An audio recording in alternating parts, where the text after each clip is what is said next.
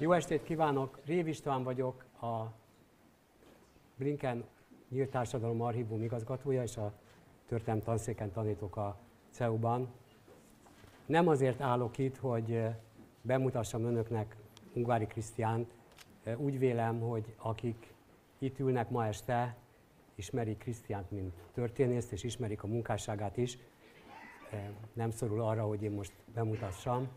De ha megengedik, akkor két másik dologról szeretnék néhány szót szólni. Először is arról, hogy pontosan hol is vagyunk, mert úgy vélem, hogy talán vannak egyesek itt a szélsorokban, akik nem pontosan tudják, hogy mi is ez a hely. Ez a Közép-Európai Egyetem kampusza, amely 2016-ban, egy évvel azelőtt készült el, hogy a kormány úgy döntött, a felsőoktatási törvény, ter, eh, törvényt kiegészítve eh, lehetetlenné teszi azt, hogy a Közép-Európai Egyetem Magyarországon működjön. Hoztak egy törvényt, amelynek több eh, nehezen magyarázható eleme is volt, többek között az, hogy csak olyan egyetem működhet Magyarországon, amelynek az anyaországban is van kampusza, de ezt nehéz megérteni, hogy a magyar diákoknak, vagy a magyar adófizetőknek miért érdeke az, hogy ahelyett, hogy az egyetem itt költeni el a pénzét oktatókra, e, épületekre, Amerikában kell, hogy egy e, újabb kampuszt építsen, de az egyetem mindezen irracionális feltételeknek is eleget tett, amelyet egy magyar miniszter Amerikában személyesen is ellenőrzött, elkészült egy megállapodás tervezet, az amerikai eh, oktatási hatóság, New York állam oktatási hatósága és a magyar kormány között, hiszen Amerikában nem a szövetségi kormány, hanem az egyes államok eh, felelnek az egyetemi oktatásért, és ez a eh, tervezet elkerült Magyarországra, a miniszterelnök asztalára, eh, aki felől azóta nem hallottunk, illetve hát ez nem stimmel, minden nap hallunk felőle, de ez ügyben nem hallottunk azóta sem semmit sem. A miniszterelnök nem írta alá ezt a dokumentumot, annak ellenére, hogy ezt az egyetemet azok a hatóságok akreditálták az Egyesült Államokban, amelyek például a Columbia vagy a Princeton Egyetem minőségért is felelnek, és ezen az egyetemen az elmúlt 32 év során több mint 18 ezer diák végzett. Nos, az egyetemnek el kellett mennie Magyarországról, illetve hogy a diplomát adó oktatási programjait át kellett telepítenie Pécsbe, hogy ott aztán majd egy újabb kampuszt építsen. E, de egyesek úgy döntöttünk, hogy e, itt maradunk Magyarországon, ahol szükség van arra, hogy ez a, az egyetem működjön, még akkor is, hogyha hivatalosan e, nem is oktathat. Felállítottunk egy demokrácia kutató intézetet, E, itt van a Blinken OSA archívum, amely a hidegháború korszakának és az emberi jogoknak egyik legnagyobb archívuma a világon. E, van egy e, intézetünk, ahol elsősorban politikai okokból üldözött tudósok a világ különböző tájairól dolgoznak együtt, és elindítottunk néhány programot, többek között egy úgynevezett láthatatlan egyetemi programot, hiszen az egyetem nem látható, olyan, mintha részben illegálisan működnénk. E, áprilisban, miután e, Oroszország e, agressziót követett el Ukrajnával szemben, felállítottunk egy láthatatlan egyetemi programot ukrán diákok számára. Az elmúlt fél évben 250 diákunk volt, akiknek jelentős része az óvóhelyekről kellett, hogy kövesse az előadásokat. Megállapodást kötöttünk ukrajnai egyetemekkel, amelynek értelmében ezek a diákok kreditet kapnak a nálunk hallgatott kurzusokra. A jövő évben egy eh, újabb eh, láthatatlan egyetemi programot indítunk a Nyugat-Balkán számára, és egy globális láthatatlan egyetemi programot is eh, a bizonyításról, a bizonyítékokról, elsősorban a háborús bűnök bizonyításáról. Ez a láthatatlan egyetem talán egyesek számára ismerősen hangzik, ez valójában abból a kelet-európai tradícióból nőtt ki, amely a 19. század közepén Lengyelországban először hozott létre úgynevezett repülő egyetemeket, olyan egyetemi oktatók, akik politikai okokból nem taníthattak oktatási intézményekben, a saját lakásukon rendeztek szemináriumot diákok számára, és azért hívták repülő egyetemnek, mert miután a hatóságok felfedezték ezeket a szemináriumokat, egyik lakásból a másikba kellett vándorolniuk, és ez a tradíció folytatódott azután a két világháború között Lengyelországban a náci megszállás idején, majd a kommunizmus évtizedeiben egész Kelet-Európában, itt a teremben is vannak olyanok, akik látogatták annak idején a Budapesti Látogatlan Egyetem kurzusait.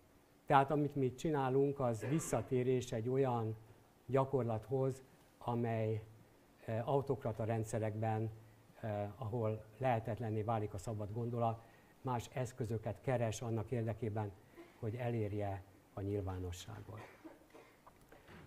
Tehát a CEU nincs is itt, de bizonyos szempontból itt van. Itt van fölöttünk öt emelet magasságban egy könyvtár is, amelyet szintén az egyetem nagy áldozatokkal itt hagyott, bár annak fenntartása évente több mint 500 ezer euróba kerül, és itt van Közép-Európa legnagyobb humán és társadalomtudományi könyvtára, amely az archívummal együtt mindenki számára rendelkezésre áll. A másik dolog, amit el szerettem volna mondani, az az, hogy miért is fogtunk bele ebbe az előadás sorozatban, miért kértük fel Ungvári Krisztiánt, hogy tartson itt ebben a fél évben 12 előadást. Ennek az az oka, hogy miközben tőlünk néhány száz kilométerre egy szörnyű, rettenetes, véres háború zajlik, azon közben itt Magyarországon most már több mint egy évtizede folyik egy igazi kultúrharc, egy kulturális háború. Érdemes megjegyezni, hogy az a szörnyű véres háború, ami most Ukrajnában zajlik, az is egy kultúrháborúval kezdődött Oroszországban.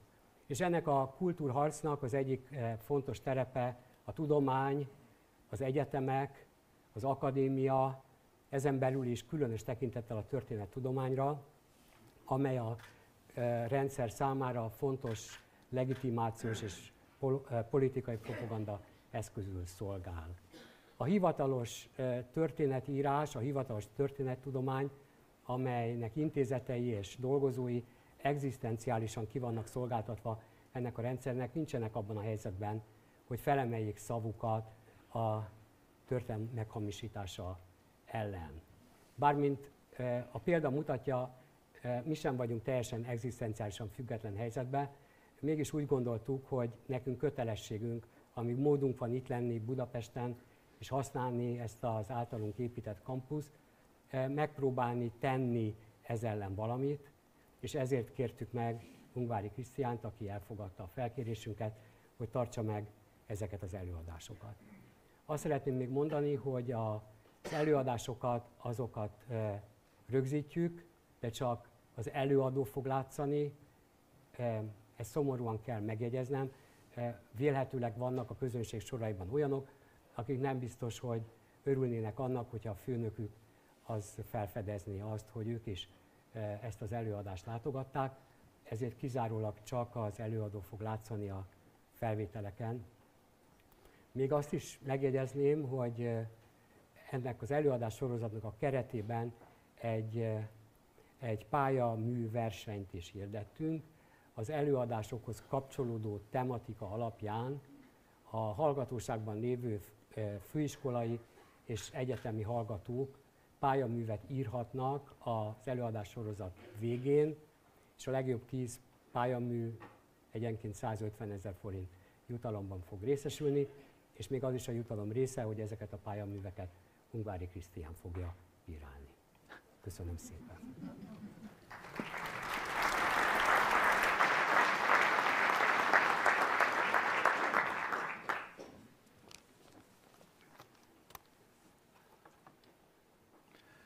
Tisztelt Hölgyeim és Uraim!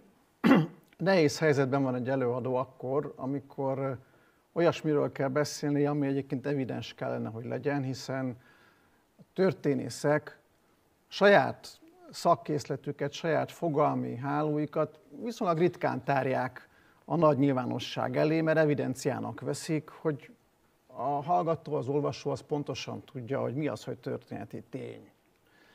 Holott ez nem egészen így van, és ehhez szeretnék önöknek némi fogódzót nyújtani a következőkben. szakszerű történet tudomány legfontosabb alakja Leopold von Ranke német történész volt, és tőle hoztam itt két idézetet. Az egyik az úgy szól, hogy a történetírásnak nem a múlt megítélése a feladata, sem a kortársak okítása az eljövendő évek érdekében, egyszerűen csak megmutatni, hogy valójában történt. És van egy másik, ami bennünket illet, mondja Ranke, nekünk más fogalmunk van a történelemről, mint ami a múltban volt a retorikus történészeknek. Mesztelen igazság, mindenféle cicoma nélkül az egyes tények alapos kutatása, a többieknek ágyő. Csak semmi kitalálás még a legapróbb dolgokban sem. Sokan azt gondolják, hogy ezek végtelen naív szavak, holott Rankénak nagyon is jó oka volt arra, hogy ezt mondja, és bizonyos szempontból ezek a ránkei gondolatok aztán a pártállam évtizedei alatt, hogy is mondjam, ismét érdekessé váltak, nevezetesen Leopold von Rankel olyan korban mondta ezeket, amikor sokan azt gondolták, hogy a történelem valójában egy fejlődésről szól, az egyes korok különböző értékűek, a legértékesebb a francia forradalom és az azóta eltelt idő. Ránke kifejezetten az ellen tört láncsát, hogy az egyes korokat nem lehet érték szerint megkülönböztetni, mindegyik ugyanolyan fontos és ugyanolyan értékes. A másik pedig, ami számára fontos volt, hogy ne feltételezzünk a múlt kapcsán ideológiai elvárásokat. A pártállami időkben volt ugye a vörös farok, amikor azt várták el az embertől, hogy a marxizmus tükrébe értelmezze a történteket. A 19. században ugyan semmi ilyesmiről nem volt szó, de volt egy nagyon erős a felvilágosodás iránt elkötelezett szemlélet, és Ránke mondatai igazából enne, ez ellen próbáltak szólni.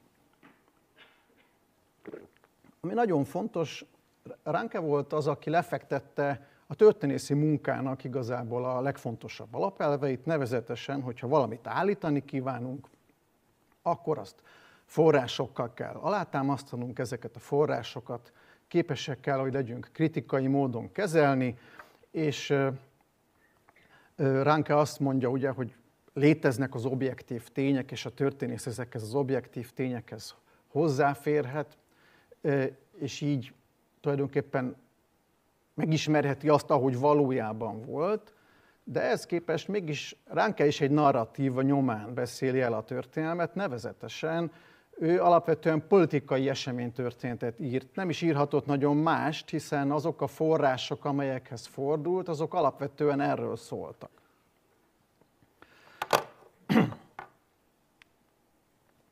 Azonban, hogyha megnézzük azt, hogy mi az, hogy történelmi tény, akkor rögtön elég nagy zavarba tudunk jönni. A történelmi tény ugyanis nem egy olyan objektív dolog, ami, ami teljesen egyértelmű. Az természetesen egy, egy elemi tény, mondjuk, hogy én itt állok, és az is egy elemi tény, hogy Teleki Pál 1941 áprilisában saját dolgozó szobájában holtan feküdt, az, hogy ő öngyilkos lett, ez ugye egy történelmi tény, de ebben már van interpretáció, ami bármennyire is alátámasztott, mégiscsak egy logikai következtetés. Azok az úgynevezett elemi tények, amiben biztosak lehetünk, mert valamilyen módon a források ezeket megőrizték, vagy az archeogenetika, vagy más módon megmaradtak számunkra úgymond bizonyosságkép, ezek önmagában, ha egymás mellé rakjuk őket, válogatás nélkül semmit sem fognak kiadni a múltról. A múlt képét ugye akkor ismerjük meg, hogyha valamilyen logikai sorba kerülnek ezek az úgymond elemi tények, de még akkor sem, mert az is szükséges és fontos, hogy az elemi tényeket valamilyen ok-okozati viszonyba tudjuk állítani. Magyarán interpretálnunk kell őket.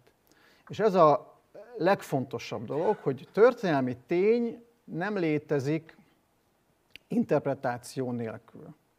Magyarán ennek a bizonyos ténynek, amiről azt hiszük, hogy egy, egy konkrét fizikai adottság, és biztosak lehetünk benne, hogy az, ennek egy eleme mégse egy fizikai adottság, hanem egy vélemény. Semmiképp se kívánnék a posztmodern történetírás mellett láncsát törni, ezt hogy megteszik ebbe az előadásban mások helyettem, de mégiscsak le kell szögeznem, hogy a történelmi tény, mint olyan, az ilyen szempontból egy cseppfolyósabb dolog, de természetesen nem végtelenül cseppfolyós.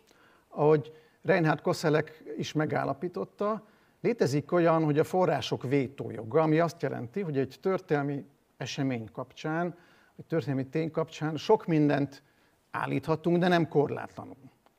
Igazából a források vétójoga azt fejezik ki, hogy vannak bizonyos dolgok, amit nem fogunk tudni arról a dologról állítani, lekorlátozza a történésznek a kreativitását. Az, hogy mit, ismer, mit ismer már addig a, a múlt elemi tényei közül. Nagyon fontos a különbség, hogy az esemény és a tény, ez nem ugyanaz. Minden esemény tény, de nem minden tény esemény. Egyrészt azért, mert hogy az egyik, az esemény, az a múltban volt, a tény meg úgymond most van, most vesszük ténynek, most foglalkozunk vele, és ez egy óriási különbség. A másik pedig, ami nagyon érdekes, rendszeres formula, én is biztos használtam sokszor életem során, az önmagukért beszélő tények kérdése. Valójában ilyen nincs. Semmilyen tény nem beszél önmagáért. Még a történelmi tény se beszél önmagáért. Ezek a tények csak azért beszélnek, mert meg tudjuk szólaltatni őket azon premisszáink segítségével, amit amúgy is ismerünk. Valójában nincsenek önmagáért beszélő tények, mindig a kontextusuk jelent, adja meg a valós jelentésüket.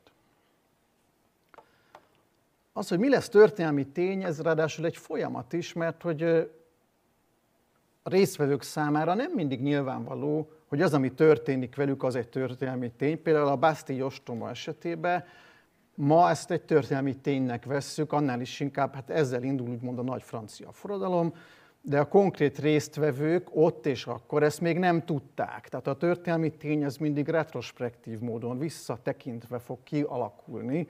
Valamikor természetesen a történelmi tényben résztvevő aktorok már akkor tudják, hogy benne lesznek a híradóba, vagy a történelemkönyvbe érzik át a pillanat nagyságát, de az esetek nagyon nagy részében ez nem egészen így van. És ugyanígy van, a, ha arra gondolunk, hogy hogyan határolja el a történettudomány az egyes korokat, zárójel, meglehetősen cseppfolyósan, tehát arról, hogy most mikor kezdődik a legújabb kor, mikor volt vége a középkornak, erre különböző számok vagy évszázadok is szerepelhetnek az egyes történeti munkákban. Ez azt jelenti, hogy ez egy, ez egy relatív kérdés egyrészt, másrészt egy, egy folyamat.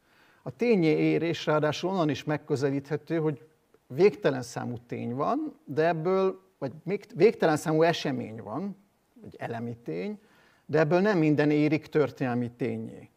Például, amikor Lincoln elnököt lelövik, az akkor még csak egy esemény volt abban a pillanatban, sok-sok esemény során, de a történettudomány számára, sőt az egész amerikai társadalom számára is elég hamar tényé érett. Próbáltam megfogalmazni más mondatokkal is a kettő közötti különbséget, illetve ezek valós tartalmát. Ugye az esemény az, ami egy minden magyarázattól mentes tény. Összeállított formában kronológiait azért tettem egy kérdőjelet, mert hogy valójában a kronológia sem mentes a magyarázattól, hiszen nem létezik olyan kronológia, ami ne valamilyen koncepció kapcsán készült volna el. Amennyiben létezne olyan kronológia, ahol az egyes tényeknek egymáshoz semmiféle viszonyuk nincs, az egésznek semmilyen értelme nem volna. És így a történet tudománynak se volna értelme, hogyha ollózás, ragasztás módszerével, válogatás nélkül ezeket az elemi tényeket rendeznénk. A történelmi ténynek ráadásul nagyon nagy feszültséget ad az, erről később még fogok beszélni, hogy ugye más a történelmi és más a jogi tény. Csak egy példát mondok, közismert, hogy az ügynök ügyekben a jogi tény az egyáltalán nem azonos a történelmi tényel. Más kérdés, hogy a jogi tény se azonos a bírói ítéletekkel, mert hogy a bírói ítéletek eléggé visszásan sikerülnek. Van olyan eset, amikor jogilag megállapított összes körülmény megléte ellenére se az az ítélet született, ami a jobból következett volna. Ami nagyon érdekes, és talán önök számára se haszontalan, ha utalok arra, hogy a közbeszédben sokszor úgy beszélünk saját történelmünkről, mint hogyha annak a, az összes eleme a miénk volna. Mit jelent ez? Például, amikor azt mondjuk, hogy Sokat vesztettünk Mohácsnál. Ugye én semmit nem veszthettem el Mohácsnál, sőt önök se veszthettek el semmit. Kérdés, mégis milyen felelősségünk van ezzel kapcsolatban? Miért mondjuk ezt? És nagyon fontos, hogy amikor a történelmről beszélünk, az a szemléletmód, amikor jelen idejűvé tesszük a múltat, ez nagyon-nagyon sok problémát fog okozni számunkra. Amennyiben ugyanis ezt tesszük, akkor úgy teszünk, mint hogyha az a felelősség is a miénk volna, ami a Mohácsi csatamezőn volt, azok a körülmények is a mindennapjaink részei lennének, mint amik akkor voltak, holott erről szó sem lehet. Mi nem a Mohácsi csatáért vagyunk felelősek, hanem az emlékezetéért.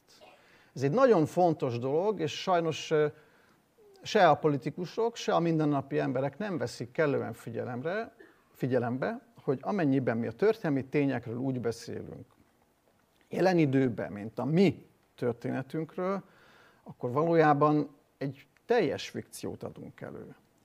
Még egyszer ismétlem, a nemzeti történelem az nem azt jelenti, hogy az én történetem, az azt jelenti, hogy az én felelősségem ennek a történetnek az emlékezete. Ez adja valamilyen mértékben a nemzet kohézióját.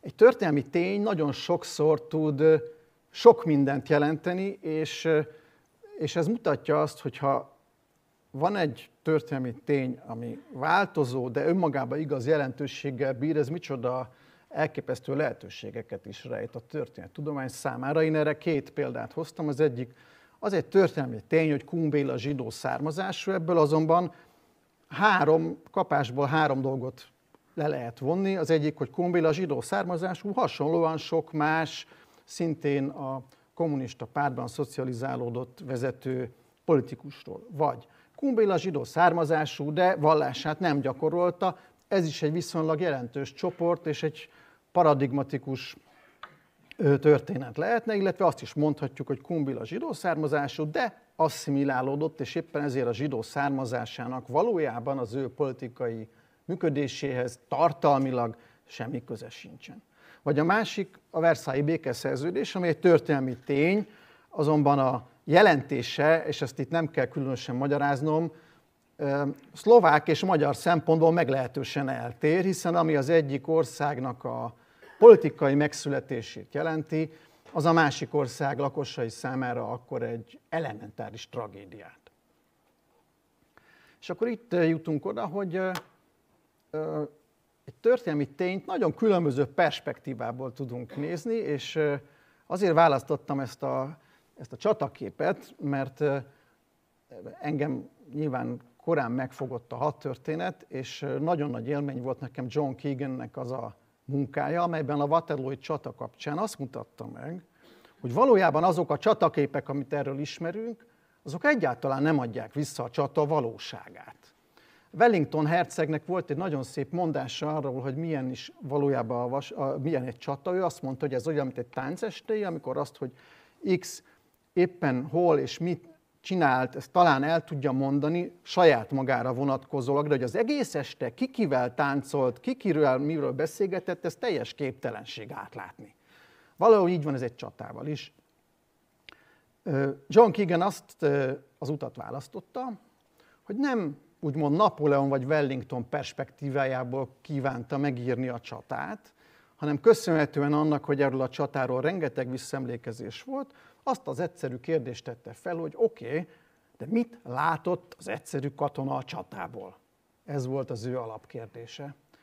És azt hoztak ki, hogy az egyszerű katona ebbe a csatába valójában nem is látta az ellenséget az esetek legnagyobb részében. Tehát nagyon kevesen voltak olyanok, mint amit ez a kép is mutat önöknek, akik úgymond szemtől szembe farkas szemet néztek az ellenséges katonával. A legtöbben pár száz méterről, ha láttak is valamit, alapvetően az elképesztő füstben és zajban szerencsétlen módon kellett elviseljék azt, hogy becsapódnak körülöttük az ágyugójók és kartácsok, és tépik le a bajtársaiknak a kezét meg a lábát.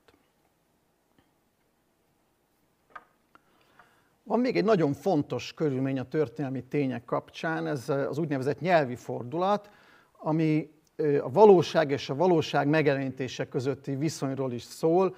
Ez a nyelvi fordulat, linguistic turn, a 20. század második felében forradalmasította a tudományt is, mert hogy lehetőséget adott arra nagyon sok történésznek, hogy hát sokkal kritikusabban kezelje a saját forrásait, az úgynevezett szent forrásokat, amik elvileg az eszenciális tények lennének. És a nyelvi fordulatnak a legfontosabb üzenete az az, hogy a nyelv nem egy semleges közvetítő, nem egy átlátszó közeg, hanem egy homályos tükör. Önálló szerepet tölt be a valóság értelmi feldolgozásában, és megszabja a gondolatok formáját. Én erre ha itt hozok három példát, ami nagyon tipikusan magyar. Ugye, aki patkánylázadás, gangsterváltás és módszerváltás kifejezéseket emleget egy történelmi tény kapcsán, ezzel már eleve determinálja azt, hogy ő ebben milyen tartalmat lát. Ez most nagyon extrém példa, de nincs igazából semleges nyelvi közeg. Ez egy nagyon-nagyon fontos dolog, és ilyen szempontból kritikusan kell tudnunk nézni a nyelvi közeg által ne jelenített úgynevezett történelmi tényekre is. Hozzuk néhány példát arra, hogy hogy néz ki egy posztulátumokkal teremtett valóság, amit pont ennek a nyelvi fordulatnak a tükrébe aztán elég könnyen lehet elemezni. Idézet. A liberális világforradalom, amelynek véguráit látjuk, az első világháború végén kezdődött a tradicionalista központi hatalmak összeomlásával és a nyugati antahatalmak fegyveres és kulturális győzelmével, ennek részeként a wilsonizmus projektjének megindulásával, írta erről Békés Márton a Terrorháza kutatási igazgatója. Nem régiben. Nos, ha megnézzük ezt a kis idézetet, akkor ebbe egy csomó olyan dolgot látunk, ami, ami posztulátumokkal teremtett valóság. Egyrészt liberális világforradalom 1918-19-ben, mint egy történeti tény, amelynek most látjuk a végóráit, ez a második történeti tény. Harmadik történeti tény, már ezt mind idézőjelben mondom félreértések elkerülése véget, az a tradicionalista központi hatalmak szembeállítása a liberális nyugati antant hatalmakkal, amihez csak azt a megjegyzést kell fűznöm, hogy a monarchia, erről egy későbbi előadásban terjedelmesen lesz szó, tudtommal pontosan úgy egy liberális rendszer volt. Egyébként a magyar szélsőjobb ezt is hányta mindig később a szemére, mint mondjuk a korabeli Anglia vagy Franciaország. Az pedig, hogy az antantatalmak kulturális győzelmet is alkottak volna, ez is egy, hogy is mondjam, novum a magyar történet tudományban. De azt hiszem nemzetközileg is.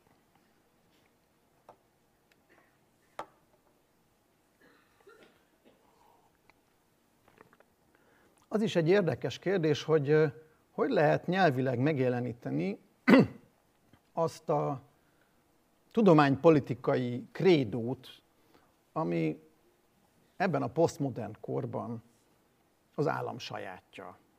Erre is egy Békés Márton idézetet használtam, amit meg kell jegyeznem, a személy teljesen mellékes lenne, mert hogy bárki mást vettem volna ebből a millióból, nagyon hasonló szövegeket kaptunk volna. Ugye az idézet így hangzik, a kulturális hadviselés fő támadó eszköze a tüzérség, a védelem gerincét pedig a mélységben tagolt lövészárokrendszer adja, a kultúra házának emeleteit szívos közelharccal veszik be, a könyv fegyver, olvasni haditett, a nyelv fegyvere, a nyelvpolitika fegyvertára. Hamarosan meg fogják látni, hogy miért is választottam ezt, ezt a szöveget, mint a nyelvi fordulatnak egy, egy érdekes bizonyítékát.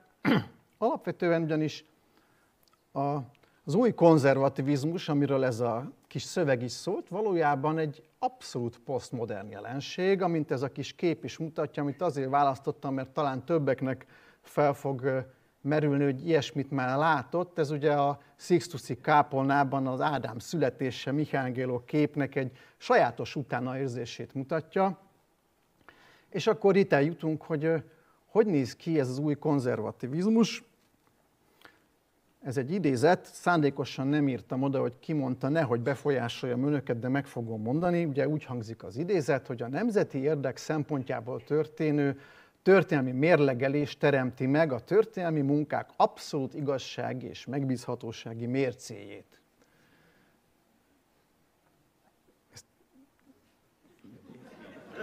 Próbálják ezt, ezt úgy elsajátítani belülről is ezeket a gyönyörű, gyönyörű gondolatokat.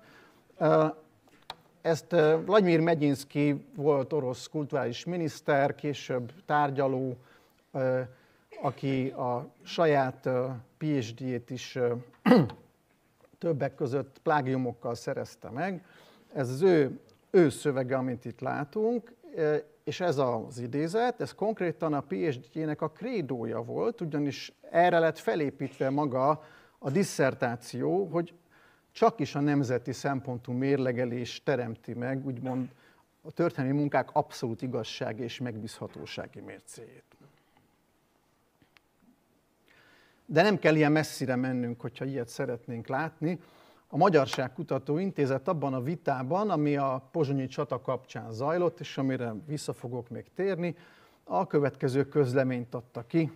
Történet tudományban objektivitás nem létezik, elméletek állnak szemben elméletekkel, és az egyén szubjektív ítélőképessége alapján dönti el, hogy számára melyik az elfogadhatóbb, nagy bajba lennénk, ha az atomfizika is így működne.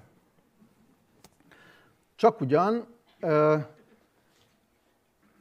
ezt látjuk, hogy az egyén szubjektív ítélőképessége alapján dönti el, hogy minek hisz és minek nem. Hogyha a Facebookon van egy vita, vagy egy hír, akkor vagy lájkolják, vagy nem lájkolják, és egy like teljesen ugyanannyit ér, hogyha tőlem származik, hogyha a miniszterelnöktől, és hogyha a Gépsz Jakabtól. Ez tényleg így van.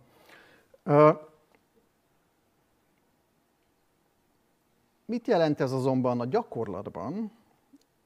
Erre is szeretnék egy idézetet adni, ismét egy ismerősünk Békés Mártontól, aki a konzervatív gondolkodás kapcsán a következőket szögezte le.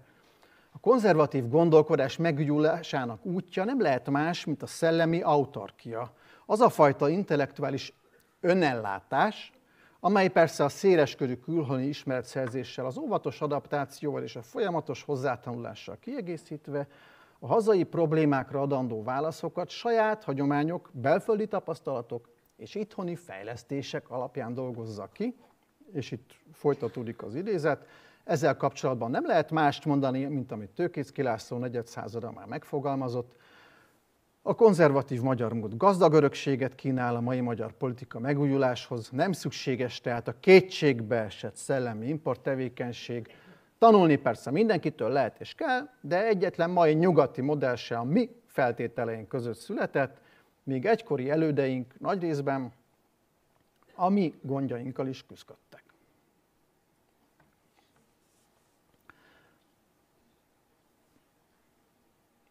És egy következő idézettől szintén nem adtam meg azt, hogy ezt kimondta, de el fogom árulni.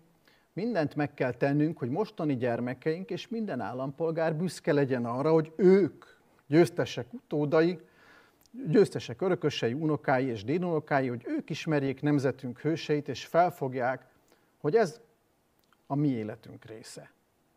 És egy másik idézet még, a nemzeti önazonosság erősítéséhez kapcsolódó eseményeket inkább feledésre ítélték. A felnagyított vereségeinkből, kudarcainkból tudatosan létrehozott kisítőség pedig egyre csak ontotta magából azt a szemléletet, ami lehetetlenné tette nemzeti létünk egészséges megélését.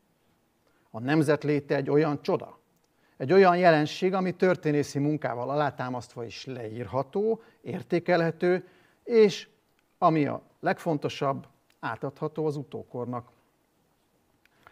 Hogy ezen a téren milyen örökséget adunk tovább, az a jelenkor felelőssége, ha az egyfolytában az örökkévesztes bűnös nemzetképe jelenik meg előttünk az önazonosságunkat megélve, akkor ezt a hitetlenséget, az önmagunkba vetett hit hiányát sajnos tovább fogjuk adni a következő generációnak. Ugye beszéltem az előbb arról, hogy miért nyit ki érdekes, érdekes ajtókat az, hogyha jelen időben beszélünk a múltról, a veresség az nem az én verességem, nem engem vertek meg a Moácsi csatába, nekem emlékeznem kell arra, hogy az elődeimmel történt ez. De az idézetek nem csak ezért érdekesek, hanem mutatják a perspektívát. Mint hogy az előbbi idézet is a perspektívát mutatta, Vladimir Megyinszki el az élen. Ez a második idézet, ez a, szintén a Magyarság Kutatóintézettől származik egyébként.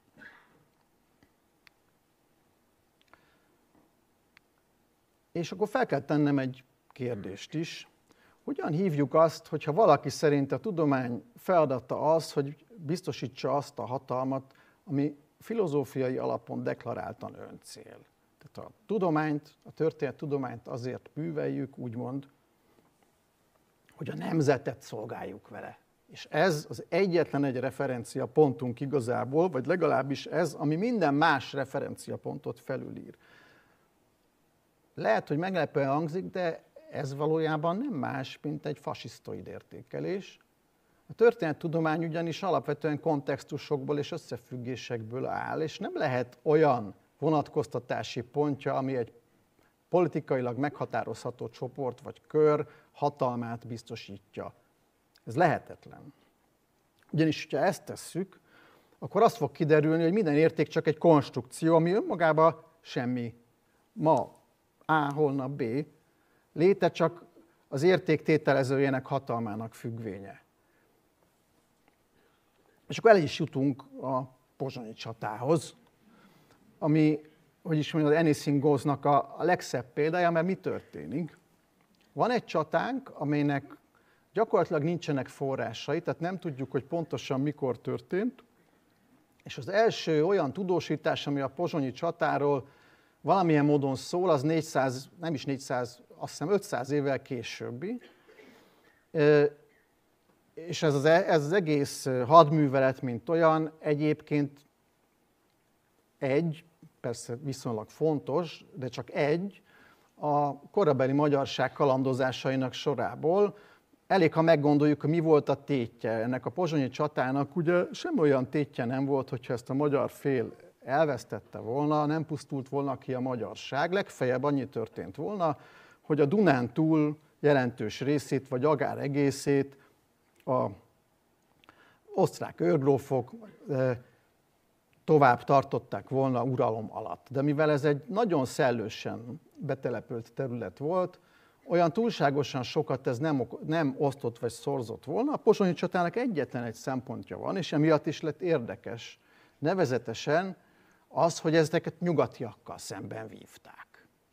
Egy nyugatiakkal szemben elért magyar siker. Nem véletlen ugye, hogy a múlt mindig a máról szól, és leginkább a mának.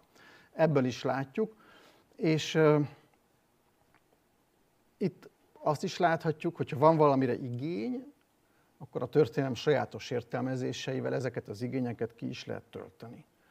De hogy hogyan működik ez az egész, hogy hogyan lehet megnyerni valamit, amit elvesztettünk, és már itt ugyanazt a hibát elkövettem, mint amivel előbb önöket óvtam, de valamennyire mégis érthető módon. Ugye a legtöbbet a múlt változik, és ezt vízből szokták mondani, de valójában ez egyáltalán nem vicces. És erre talán az a példa lesz szemléletes, amit választottam, hogy hogyan nyerhetnénk meg mi a Mohácsi csatát, hát több módja van. Az egyik, hogyha azt mondjuk, hogy hát valójában a Mohácsi csatában résztvevő sereg nem is magyarokból állt, részben, de akik meghaltak, azok többsége nem volt magyar, és most levethetnek, de ebben van egy racionális mag, mert csak ugyan a gyalogság jelentős része cseh és lengyel zsoldos volt, és a magyar csapatok nagyrészt lovasítva voltak, tehát inkább el tudtak menekülni. Ö, ö, tehát azt mondjuk az egyik meg, megnyerés egyik megoldás, hogy igazából nem a magyarok vesztették el. A másik pedig, hogy hát a, a magyar érdekeket tulajdonképpen nem a, a magyar sereg képviselte, hanem a török eleve, hiszen a, a törökök ugye biológiailag ezt Kásler professzort különböző tanulmányaiból tudjuk, alapvetően a magyarság rokonai, sőt lehetséges, hogy a török seregbe több igazából turáni származású harcos volt. De ezen kívül, ha feltesszük tényleg, ki képviselte a nemzeti érdeket? Mert az az egyedüli fokmérője mindennek, mint azt korábban megtudhattuk. Hát a nemzeti érdeket egyáltalán nem biztos, hogy a nyugati civilizációhoz való tartozás képviseli. Minden esetben ezt önök is talán hallották. Azt, hogy ennek az egész történelmi szemléletnek milyen virágai vannak, külföldi példákkal szeretném bizonyítani, és a számomra legimpresszívebb példa, ez Alexander Nyevszki, az az első Sándor új emlékműve volt, amit 2021-ben avattak fel. Első Sándorról azt kell tudni, hogy ő volt az a uralkodó, aki 1240-ben és 1242-ben a svédek és a német lovagrend ellen győztes csatákat tudott folytatni. Ebből ugye a legismertebb az a film, amit Eisenstein forgatott 1938-ban, akkor ugyanis volt egy politikai megrendelés arra, hogy mutassák be a hős orosz katonák küzdelmeit a nyugatiakkal szembe. Egy évvel később érdekes módon a filmet már többet nem játszották, viszont Eisenstein a Valkürt rendezhette, nem teljesen függetlenül a Hitler-Stalin paktumtól, amit megkötöttek. Ami nagyon érdekes még Nyevszki esetében, hogy egyrészt ő harcolt a nyugattal szemben, másrészt a mongol aranyhorda vazallusa volt, konkrétan adót fizetett a, a mongoloknak, és ami az életműben egy nem kellően, hogy is mondjam, kidomborított körülmény, hogy Nyevszkit egyébként le lehetett váltani, tehát őt a novgorodiak kétszer is leváltották, mert hogy nem megfelelően vitte a politikai ügyeket, tehát valójában ez egy mély demokratikus világról is tanúskodik, aminek minden nyoma ma, mint hogyha eltűnt volna Oroszországban. De a legérdekesebb, tehát két Nyevszki emlékmű van. Ez a második emlékmű, ez 21-be épült, de korábban is volt már egy, ami 95-ben, mindjárt mutatom a képét.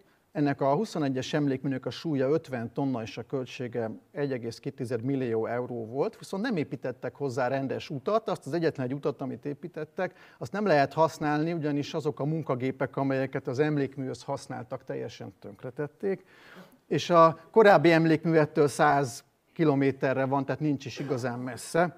Ez a sorszáma 76 104 26, ez a 76. Gárda légideszant hadosztály 104. ezrede második zászlói 6. szakasz, ugyanis az emlékművön a Nyevszki mögötti figurák arcait ennek a szakasznak a hőseiről ö, mintázták, akik a csecsen háborúba hajtottak végre hőstetteket. Tehát itt is látjuk, hogy egy majdnem, hogy 900 évvel ezelőtti esemény, az hogy tud egy mostani orosz légideszantossá stilizálódni fel.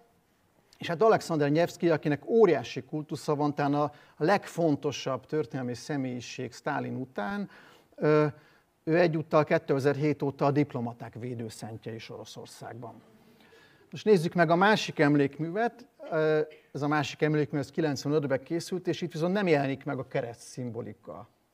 Ami mutatja egyébként az orosz politikának és az orosz emlékezett politikának a változását, a kereszténység, az igazi kereszténység képviselete, mint politikai narratíva, ez a 90-es években még nem állt központban, most viszont a rothadó nyugat mentén egyszerre Oroszország az, amelyik az igazi kereszténység védőbástyája, és ezért is kellett az előző emlékműben világosan látszik is, a kereszt szimbólum egészen kiemelten foglal helyet, nem csak a zászlón, nem maga Alexander Nyevszki is ezt a keresztet tartja.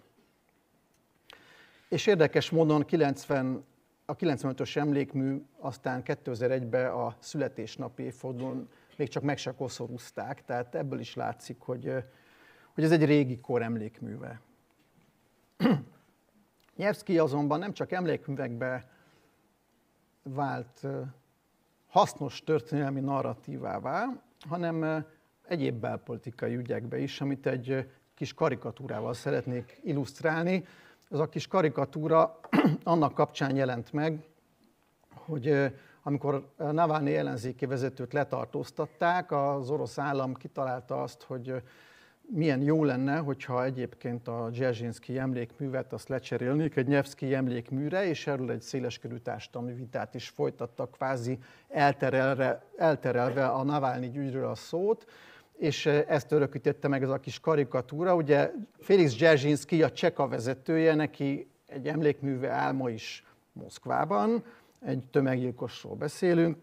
Zsezsinszki ezt mondja, hogy eleget beszéltünk Navalnyiról, amire Nyevszki azt válaszolja, hogy beszéljünk akkor most az emlékművel. Hát persze, hogy eleget beszéltünk Navalnyiról, mert hát le is csukták és kivonták az orosz életből. Nos, hogy mit jelent valójában Alexander Nyevszki, ezt a keleti nyitás politikája mutatja talán a legjobban. Mert hogy a Nyevszki kiállításban az ő személyével kapcsolatosan hangzik el ez a szó összetéte, hogy keleti nyitás. Nyevszki nem csak a nyugati agressziót hárította el, hanem elutasította a pápaság primátusát is, és helyette barátokat keresett keleten. Legnagyobb teljesítménye a harc nyugaton és alázat keleten politikája volt, amit az legitimált, hogy az aranyhorda nem kényszerítette rá az orosz államiságra saját vallását. A mongol tatár birodalomban teljes vallásszabadság uralkodott.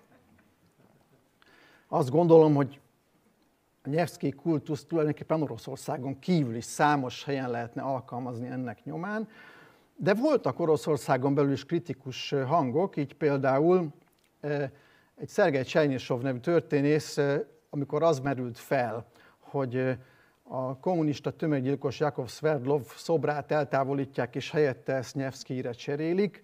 Egy politikai publicisztikába az ajánlatot a bandita és a kollaboráns közötti ajánlatnak nevezte.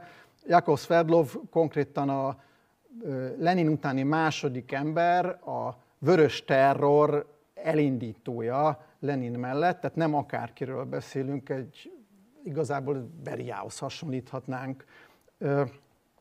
Erre prompt meg is érkezett a válasz, nem is mástól, mint Alexei Miller professzortól, a Szentpétervári Állami Egyetem tanárától.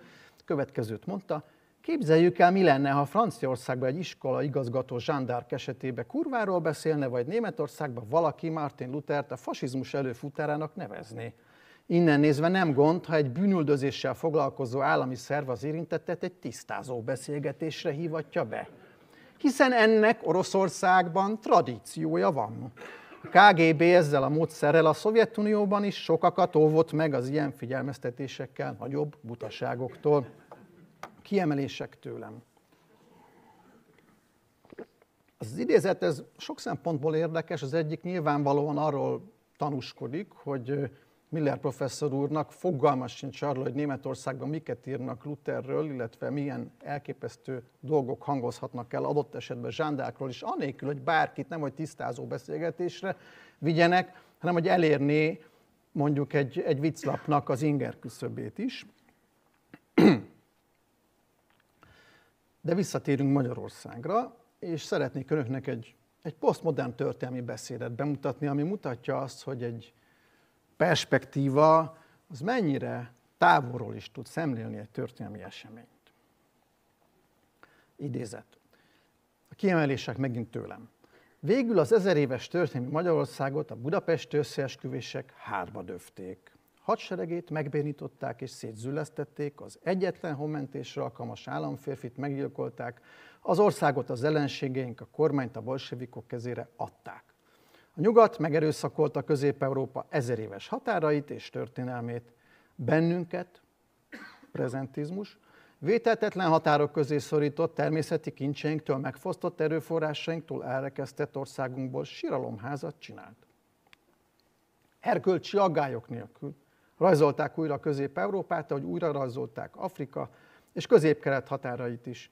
Ezt nem fogjuk elfelejteni nekik, kiknek? Soha. És amikor azt hittük, ennél már nem sietett mélyebbre se a gőgös francia és brit, se az álszent amerikai birodalom, mégis volt lejjebb. A második világháború után szívfájdalom nélkül dobtak oda bennünket a kommunistáknak. A lengyelek, a csehek, a szlovákok azt kapták jutalmul, amit mi büntetésül legyen ez örök tanulság a közép-európai népek számára. Ez a sátorójöhé beszéd, ez Orbán Viktor miniszterelnök beszéde, és amiket beszámoztam, azok a azok az állítások, amik hát magyarázatot érdemelnek, ugyanis olyan vagy olyan posztulátumot tartalmaznak, amit a történet tudomány ebben a formában még nem igazolt, tehát például, hogy a budapesti összeesküvések mindjárt többes számban döfték volna hátba az ezer éves történeti Magyarországot, hiszen a központi hatalmak 1918-ban akár tetszik, akár nem, a frontokon mindenütt visszavonulóba volt, és a központi hatalmak vezetése azt a belátást legalább 1918-ban elérte, hogy ezt a háborút elvesztette. Ezt egyébként Tisza István miniszterelnök is kimondta, még nem volt semmilyen összeesküvés. Ő képes volt ezt megfogalmazni. Tisza lenne az egyetlen honmentésre alkalmas államférfi, ez is egy olyan történeti posztulátum, ami igazából igazolásra vár. Nem fogok most mindent elemezni, de azt mindenképp szeretném felvetni önöknek, hogy azok az erdők, bányák, amelyek a történelmi Nagy-Magyarországhoz tartoztak, azok most a terembe ülők tulajdonai, vagy pedig azoké, akik ott élnek. Tudtommal alapvetően azoké, akik ott élnek. Tehát ezt nem önök vesztették el, és nem mi vesztettük el. Soha nem voltam ilyen.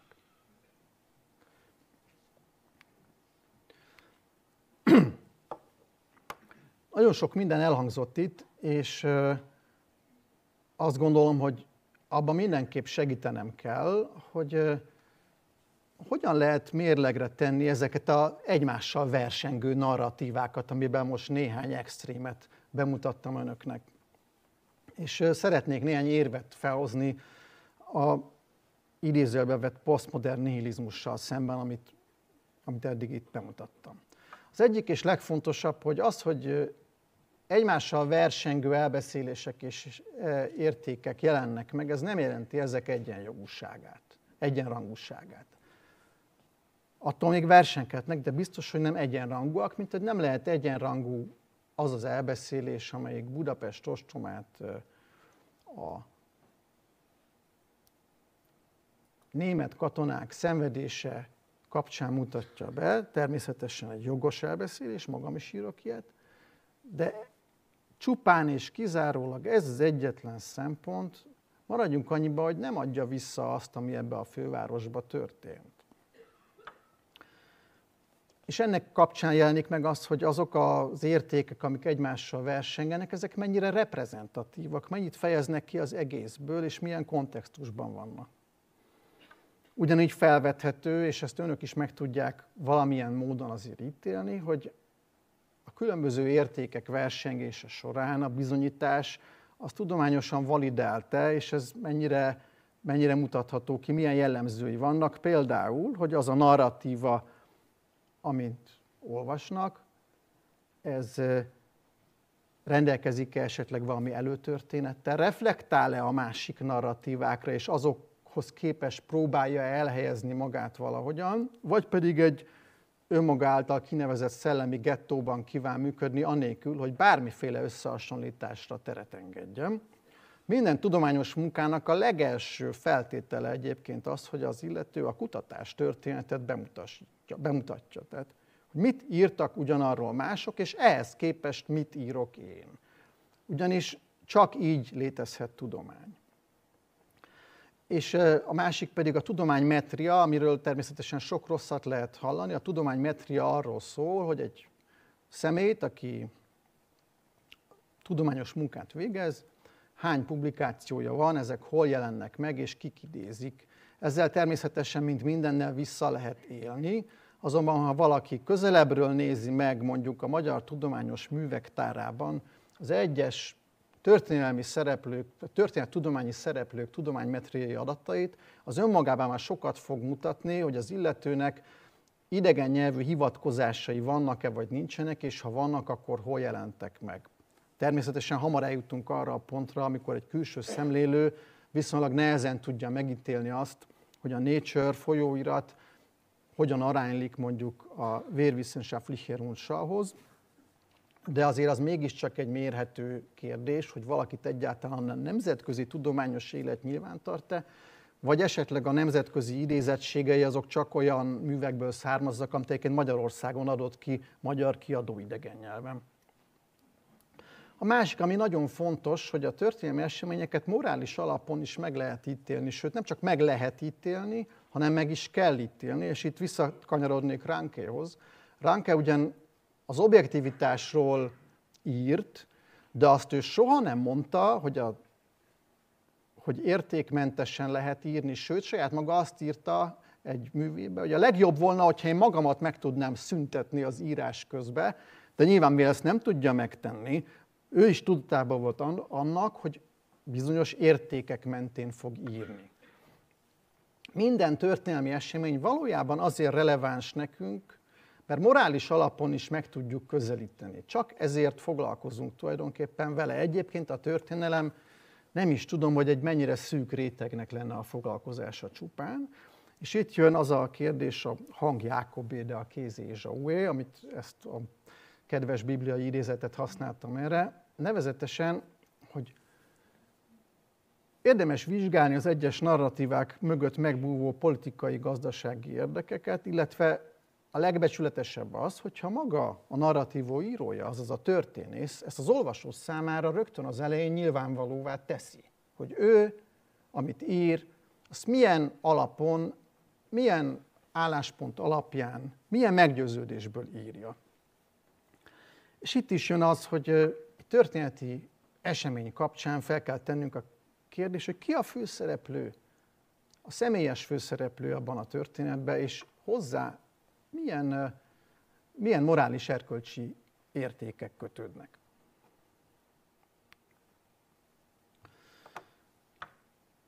Nagyon sok dologról lehetne beszélni a mai nap folyamán, de az idő szűkös, azonban a determináció és előrejelezhetőség egy nagyon fontos kérdés, annál is inkább, mert sokan azt gondolják, sokszor olyan kérdéseket is kapok, hogy vajon én meg tudom-e mondani, hogy mi fog történni. Nyilván történész nem tudja megmondani, teljes bizonyossággal. A történész modelleket készített, valószínűségekről beszélhet, de a teljes bizonyosság, ha egyáltalán van, vagy a nagyobb bizonyosság, az a szociológia, a közgazdaságtudomány, pszichológia területén élhető el. Ezek korábban egyébként a történettudomány részei voltak, csak leváltak róla, ma már nem tartoznak hozzá.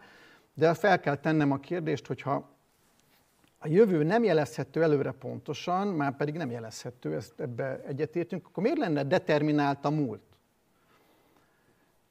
És a múlt kapcsán három idősíkról érdemes beszélni. Egyrészt van maga az eseményi idő, amikor történik valami, mondjuk a Moácsi csata.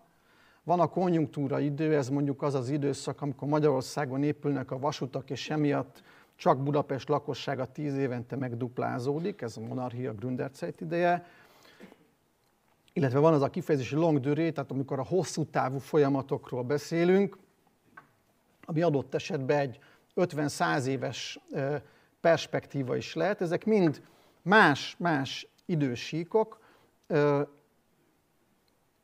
míg egy esemény adott esetben változhat, a, a long duré, tehát a hosszú távú fejlődésen nem oszt vagy szoroz az, hogy egy történelmi cselekvő így vagy úgy dönt. Mondta, ez a past depends, tehát amikor adott esetben, hogyha nem szűnt volna meg az osztrák-magyar monarchia 1918-ban, csak egy példát mondjak, valószínű azok a centrifugális erők, amelyek egyébként itt ebben a térségben voltak, egy későbbi időpontban ezt a típusú felállást, persze ez egy hipotézis, amúgy is megszüntethették volna.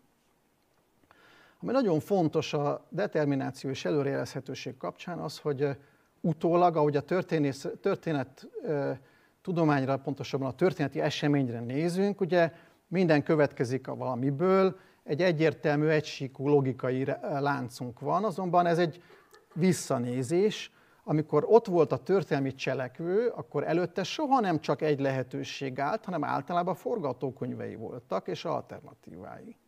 És itt ismét vissza kell kanyarodjak Ránkéhoz. És ich wie es wirklich gewesen ist, ahogy tényleg volt a történelem. Ha ezt akarjuk rekonstruálni, akkor a történelmi cselekvő előtti forgatókönyveket mind fel kell vázolni tudni, hiszen az, hogy ő valahogy döntött, az nem jelenti azt, hogy ne gondolt volna valami mást is, ne állt volna más lehetőség előtte, és az, hogy pont ezt nem hajtotta végre, hanem mást hajtott végre, természetesen kutatható, sőt kutatandó, azonban őt csak akkor értjük meg igazán, ha az összes lehetőségét is tudjuk, amivel akkor és ott szembenézett. És éppen ezért teljesen téves azt gondolom, hogyha azt mondjuk, hogy a mi lett volna a kérdés, az történelmietlen, csak azzal foglalkozzunk, ami ténylegesen megtörtént, ez egy meglehetősen nagy szegénységi bizonyítvány volna. És megjegyzem, aki ennek jegyében jár el, és tagadja a mi lett volna, ha kérdés relevanciáját, saját maga is titokba mi lett volna, ha elve alapján dolgozik, ugyanis minden történész kivétel nélkül fel kell, hogy állítson az egyes okok és okozat okok között egy hierarchiát. Tehát fontosabb és kevésbé fontosabb okokat kell tudnia megneveznie, ez viszont rögtön azt jelenti, hogy ő mérlegel a különböző okok között. És itt jutunk oda, hogy a történeti cselekvőnek meg tudjuk állapítani adott esetben a konkrét felelősségét és az alternatíváit is. Ráadásul ebben az esetben, amikor ezeket a fiktív forgatókönyveket kell valamilyen módon megalkotnunk, sokkal, de sokkal több forrást is kell tudnunk mozgatni, de ide mindjárt visszatérek. Hoztam egy példát, ez a bizonyos Szabad György és Kosári Domokos vita 1969 és 71 között. Ez a vita arról szólt, hogy az 1867-es kiegyezés helyes volt, vagy helytelen, erről a következő adásban úgyis részletesen lesz szó. A dologban az az érdekes, hogy Szabad György azt próbálta bemutatni, hogy valójában igenis lett volna esély arra, hogy ezt a kiegyezést ne így kössék meg, és hogy a kiegyezés mint olyan helytelen volt, mert valójában idézett az illúziók váltó gazdaságához vezetett, nem tette hozzá, de minden bizonyal gondolta, amiben ma is élünk. Szabad György nem ö, élt át akkora meghurcoltatásokat, mint Kosári Domokos, aki éppen ekkoriban tudott először megszólalni nyilvánosság előtt, mint történész előtt, gyakorlatilag 20 évig ki volt zárva a történettudományból, és pedig politikai jogból. Kosári Domokos teljesen másképp gondolta ezt a kérdést. Ő azt mondta, hogy ez a kiegyezés ez elkerülhetetlen volt, mert hogy tulajdonképpen egy eleve determinált és szükséges döntés volt, amit nem lehetett elkerülni. És ennek kapcsán felmerül az, hogy a két történelmi cselekvőnek a saját személyes életútja mennyiben determinálta magát a saját véleményét is. Nevezetesen Kosári Domokosnak végig 1945-től egészen 1989-ig folyamatos determinációkba kellett ütköznie a működése során, ami őt eléggé sújtotta. És még egy érdekes szempont, hogy a megtörtént múlt az az utótörténet fényébe is módosul. Mit értek ez alatt? Martin Walzernek van egy magyarra is lefordított könyve, a Szökőkút, amiben Martin Walzer saját emlékei kapcsán azt írja tulajdonképpen le, hogy az 1943-as, 44-es évet egy 14-15 éves német fiú hogyan élte át a Bódeni tó partja mellett, és ebben az elbeszélésben, ami egyébként önmagában koherens és hiteles, nyilván nem jelennek meg azok a szempontok, amelyek egyébként a második világháborús náci Németország kapcsán alapvetőek. Tehát például az, hogy zajlik egy holokauszt, hogy a náci rendszer mint olyan tömeggyilkos, és így tovább, és így tovább. Ami az ügyben érdekes, hogy Martin Walzer egyébként egy baloldali töltésű ember volt a, úgy eredendően, tehát nem arról van szó, hogy egy nácizmust rehabilitálni kiváló személy írta volna ezt a könyvet, egyáltalán nem, hanem csupán arról, hogy Walzer úgy gondolta, hogy a múltnak adott esetben több olvasata is lehet, és az egyik olvasat az ő személyes gyerekkori élményei, az nem ugyanaz az az olvasattal, ami egyébként, mint történeti tény, hát kikristályosodott. A műből természetesen nagyon nagy politikai botrány is lett, mert sokan azt vetették szemére, hogy ezt nem is lett volna szabad neki megírni, mert hiába volt így, ezt mégse lehet előadni ebben a formában azért, mert úgymond az utótörténet módosítja a megtörtént múltat. Visszatérve a kontrafaktuális történetírásra, amiről beszéltem, ott folytatnám még, hogy a forgatókönyv megbízható alátámasztásához legalább annyi forrást, azaz evidenciát kell tudni használni, mint egy ténylegesen megtörtént eseménysor rekonstrukciója során.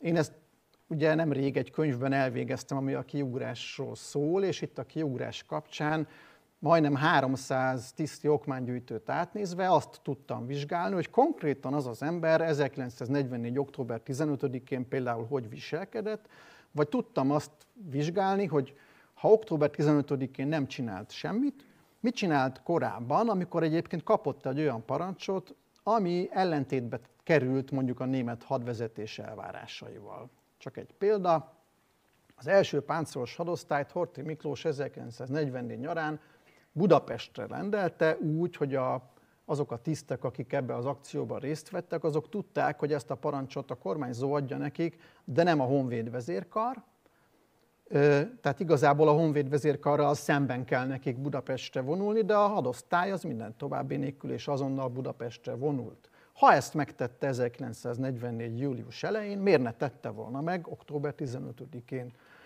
És itt fontos leszögezni azt, hogy az alternatíva kontrafaktuális történetírásnak természetesen vannak korlátai, mert olyankor, amikor egy személy döntésén múlnak dolgok, viszonylag könnyen tudjuk ezt használni. Annak a kérdésnek viszont, hogy mi lett volna, ha mondjuk a honfoglaló magyarok nem akkor mennek át a Vereckei szoroson, hanem később, viszonylag kevés értelme van, mert túlságosan sok változó az, amit meg kellene tudnunk határozni, és túlságosan sok változó elbeszélés mentén kellene a nagyon kevés forrással igazolnunk azokat a döntéseket, amelyeket vizsgálni kívánunk.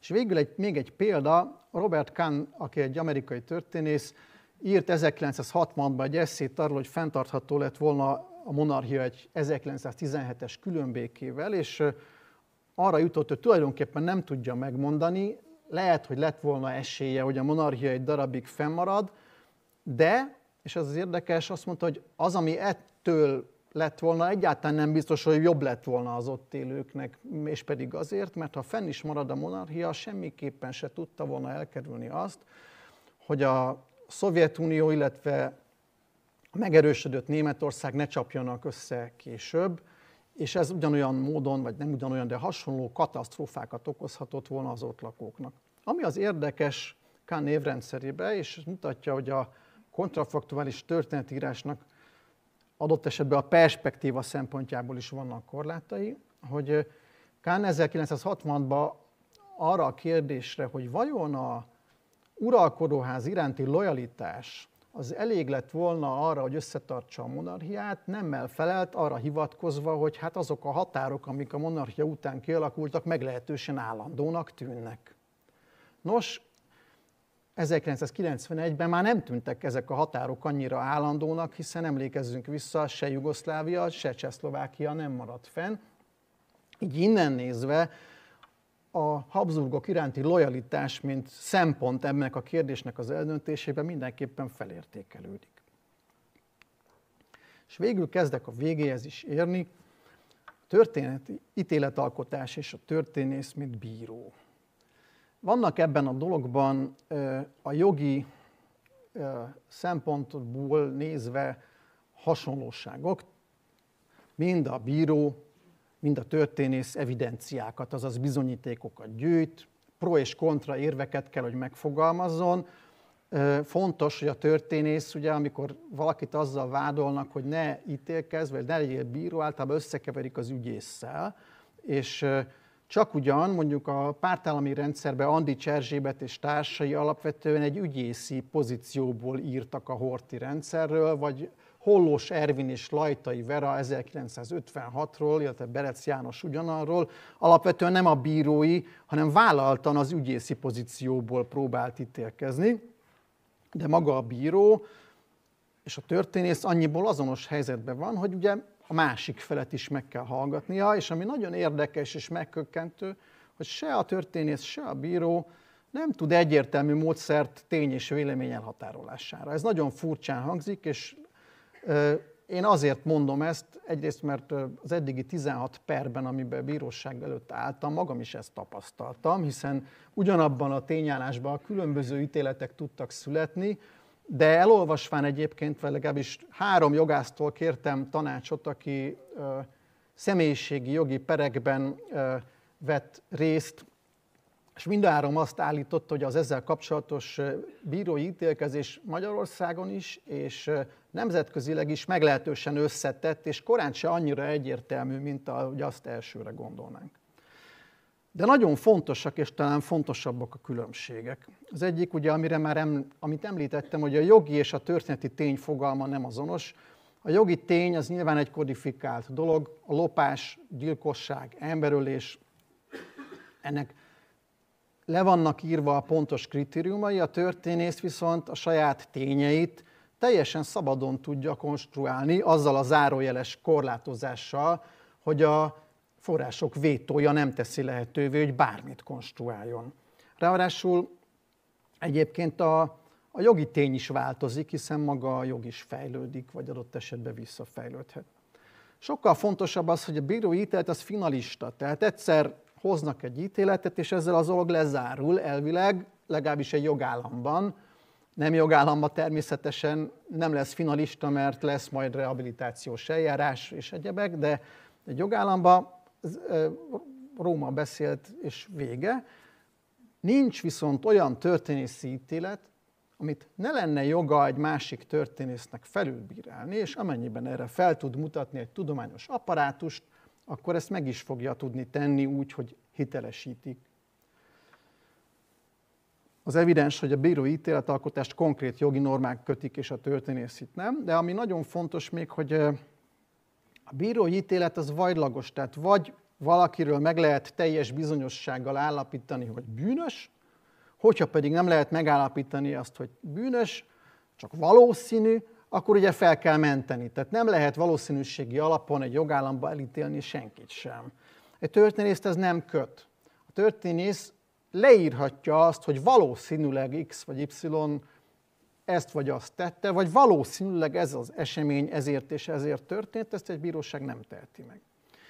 És ami még nagyon fontos, a történész az különbséget tehet a között, hogy magát a történelmi tettet ítéli meg, tehát például azt mondja, hogy a keresztes hadjáratok, mint olyanok, ezek, ezek helytelen dolgok voltak, mert rengeteg kárt és szenvedést okoztak, de a kereszténység ügyét nem vitték mondjuk előbbre.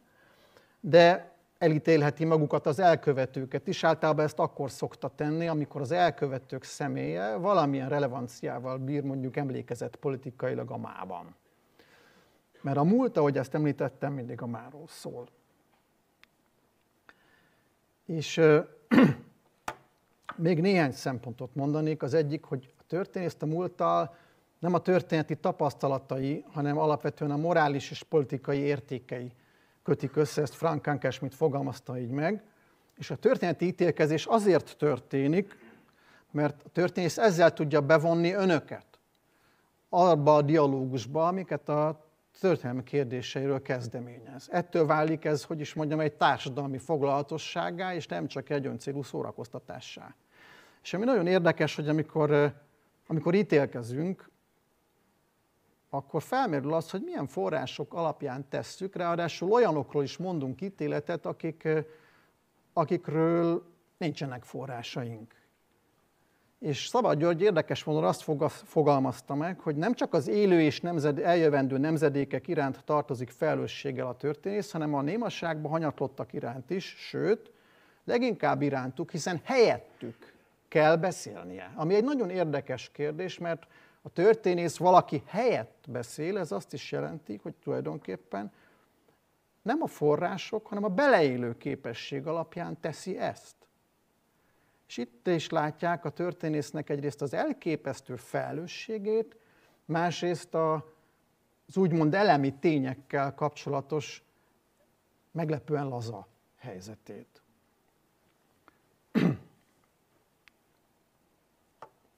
És ennek kapcsán merül fel az, hogy akadálya a történész szubjektuma a megismerés folyamatába. Ránkéra már céloztam, aki saját maga, saját magát a legszívesebben kikapcsolta volna.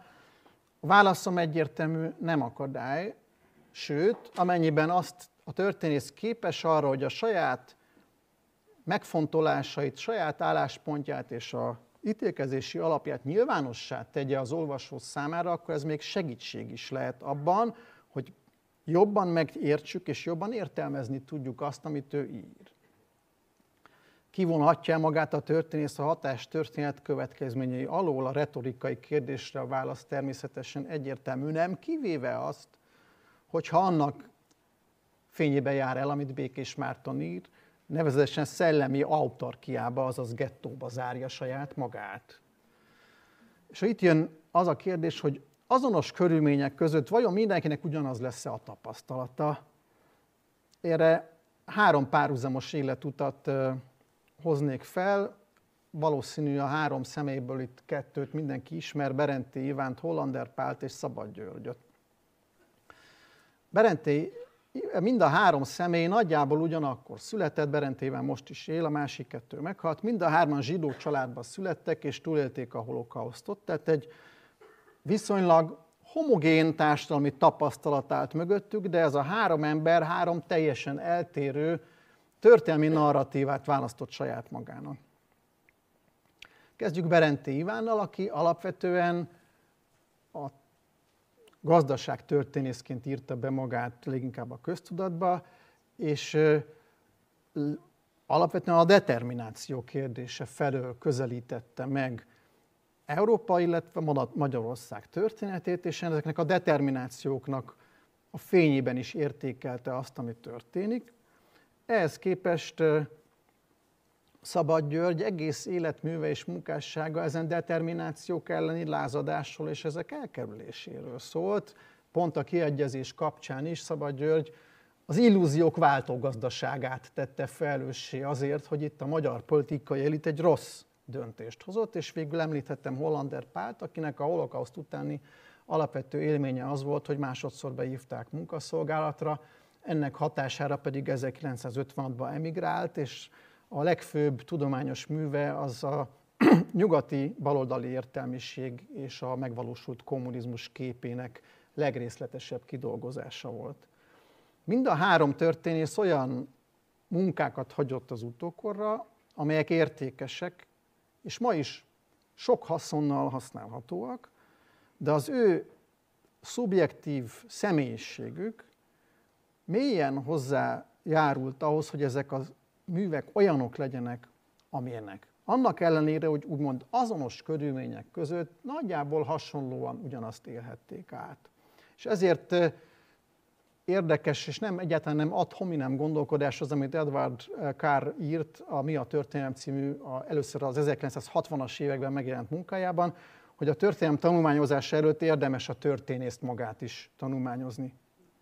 Ezzel a gondolattal zárnám, és nagyon szépen köszönöm a figyelmüket. Amennyiben az elhangzottakhoz konkrét kérdéseik vannak, akkor bizonyos mértékig mód van arra, hogy ezeket önök feltegyék. Köszönöm szépen a figyelmüket!